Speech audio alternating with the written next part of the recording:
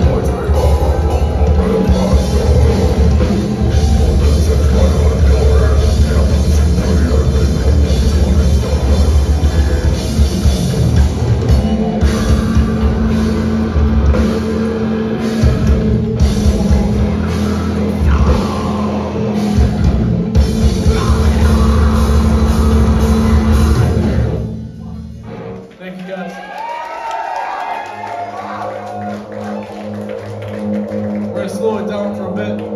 This next song is called Sacrilege of Self.